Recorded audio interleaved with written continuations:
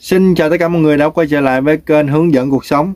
Thì ngày hôm nay mình sẽ hướng dẫn cho tất cả các bạn cái cách để làm sao chúng ta uh, xử lý được cái vấn đề khi chúng ta đăng video lên trên YouTube rồi. Nhưng mà trên YouTube đăng lên xong rồi làm sao để chúng ta sửa được đây? Ở trên YouTube nó có cái um, cái chỗ để chúng ta sửa nhưng mà chúng ta có biết sửa hay không? Chúng ta có làm đúng hay không? Hay là sửa xong rồi chúng ta bấm lộn chúng ta xóa luôn cái video của chúng ta? Thì nó rất là phiền phức đó thì để làm sao ngày hôm nay mình sẽ hướng dẫn cho tất cả mọi người cái cách để chúng ta chỉnh sửa cái video của mình khi mà đăng lên trên, trên YouTube rồi mà vẫn chỉnh sửa được và vẫn có thể là mình làm mờ những cái đoạn mà mình không muốn cho người ta thấy thì uh, vẫn được. Thì uh, xin mời tất cả mọi người xem cái video này để chúng ta biết cách để chúng ta làm sao để uh, mình xử lý được cái vấn đề là khi mình đăng lên trên YouTube rồi nhưng mà mình vẫn chỉnh sửa được. Chứ à, không có cần à, phải lo cái vấn đề là không chỉnh sửa được. Tại vì mình thấy có rất là nhiều bạn là khi mà đăng lên xong rồi, nói, chết rồi, cái video mình lỡ làm gì rồi? Mình lỡ cái tiết lộ cái thông tin nó ra rồi. Ví dụ như cái hình ảnh đi. Mình không muốn cái hình ảnh nó xuất hiện, mà cuối cùng mình chỉnh sửa video mình đã làm lộ hình ảnh nó ra rồi. Ví dụ như số tài khoản của mình hoặc là số điện thoại của mình hoặc là thông tin bí mật mật khẩu gì đó hoặc là số, số tài khoản ngân hàng hay là mật khẩu tài khoản ngân hàng gì đó.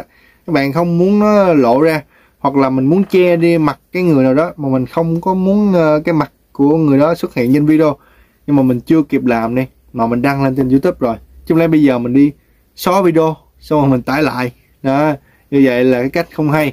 Thì bây giờ ngày hôm nay uh, kênh hướng dẫn cuộc sống sẽ hướng dẫn cho tất cả mọi người cái cách để chúng ta xử lý được vấn đề đó mà trực tiếp trên trên cái kênh youtube của mình luôn chứ không cần phải uh, uh, xóa đi hoặc là không cần phải chỉnh sửa lại rồi đăng tiếp ha.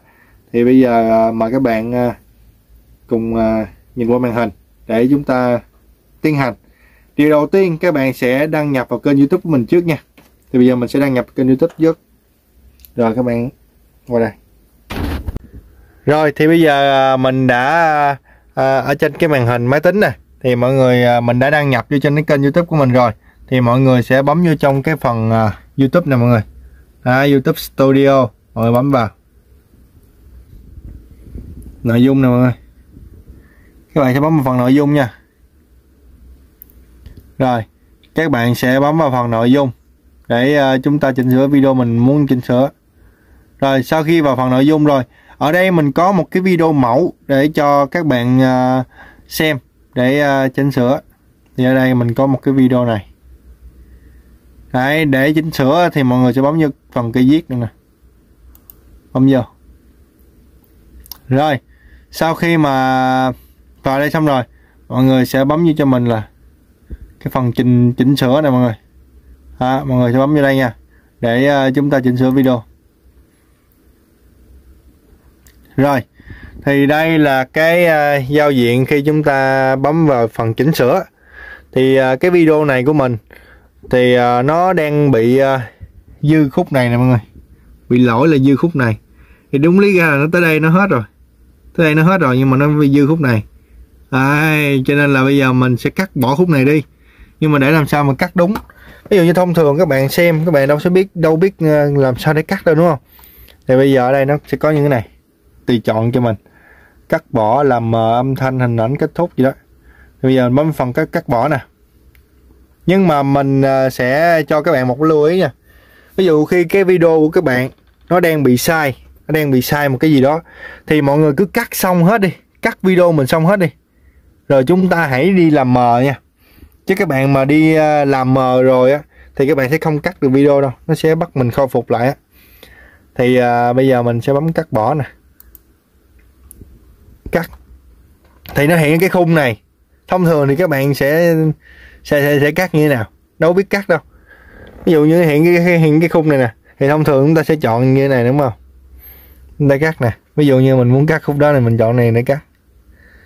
Ví dụ mình cắt tới đây đi. Đó. Thì mình sẽ chọn tới đây để mình cắt.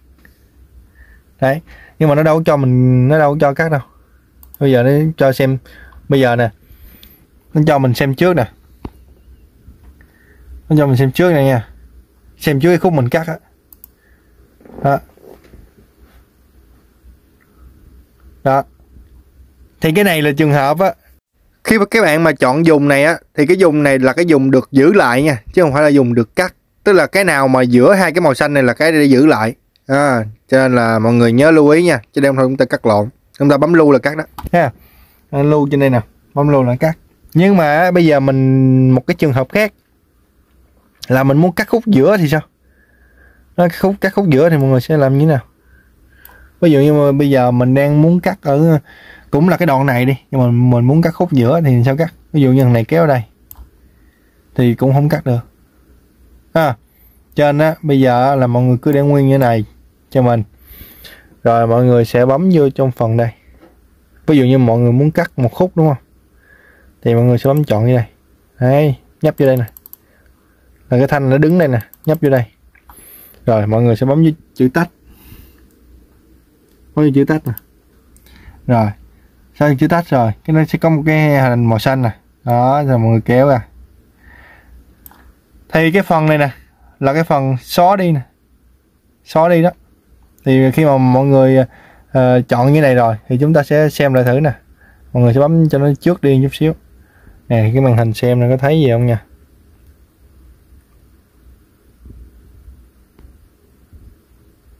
Đó. Thì tới khúc này nó vượt qua đây luôn, là tức là khúc đó nó bị cắt rồi đó. Đây, đó là cách để chúng ta cắt chính giữa. Thì sau khi mà vậy xong rồi thì mọi người sẽ ờ, bấm xem trước nha. Thì sau khi mà xem xem trước thì nó mới cho mình cắt. Thì bấm lưu là cắt rồi. Đó. Đây là cắt khúc giữa. Đây, cắt bỏ khúc giữa nha. Ví dụ như mình đem mình kéo hết ra luôn. Thì là cắt.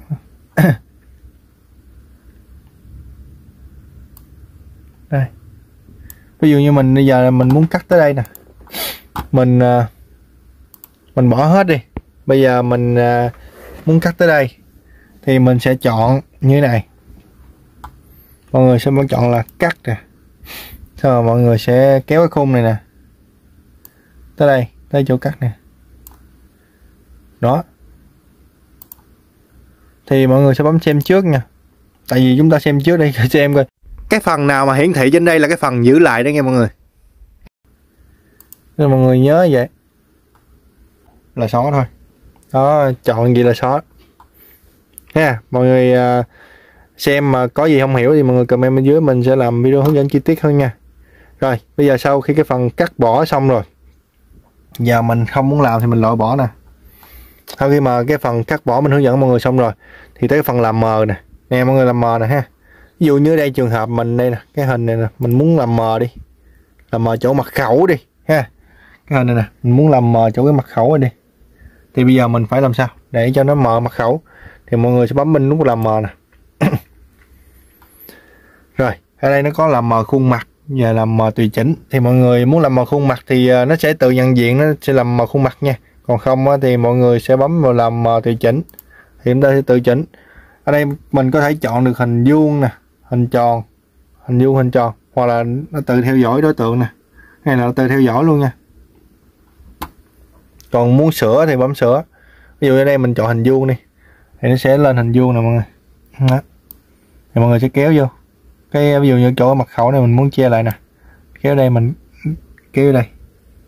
Ví dụ như cái à, cái này mình muốn nhỏ lại thì mình bấm vô đây. Để cho nó hiện lên gì mình kéo xuống nhỏ lại. Đấy. Rồi ở đây cũng vậy. Kéo lên xíu. Đó. Kéo cho nhỏ lại. Để cho nó vừa mọi người đó thì mình che được cái phần mật khẩu. Đó mọi người thấy tiện không? Rồi à, sau khi mà hình vuông mình ok đúng không? Thì à, mình làm mờ bằng hình vuông á thì ok rồi. Bây giờ mình muốn làm mờ bằng hình à, hình khác á, thì mình à, hình tròn á, thì các bạn bấm vô đây. Các bạn à, bấm vô là vùng làm mờ nè. Các bạn chọn hình bầu dục nè. Đó thì sẽ ra hình bầu dục. Đó thì mọi người cứ chỉnh như bình thường thôi. Kéo lên kéo xuống như bình thường. Rồi thì à, bây giờ đó là cách để chúng ta làm mờ. Rồi thì vừa rồi thì mình cũng à, đã hướng dẫn xong cho mọi người cái cách để chúng ta cắt trực tiếp cái video trên YouTube. Xong rồi. À, thì làm mờ vuông hình tròn rồi đó. Mình đã hướng dẫn xong cho các bạn à, để các bạn à, làm rồi.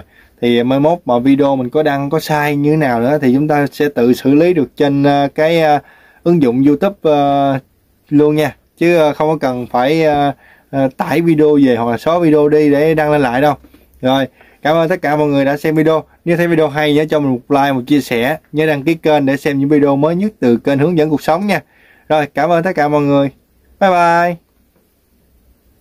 các bạn có thể xem thêm video ở trên màn hình của kênh hướng dẫn cuộc sống và đăng ký kênh bằng cách ấn vào nút đăng ký trên màn hình. Cảm ơn tất cả mọi người đã đăng ký kênh. Xin chào tạm biệt và hẹn gặp lại.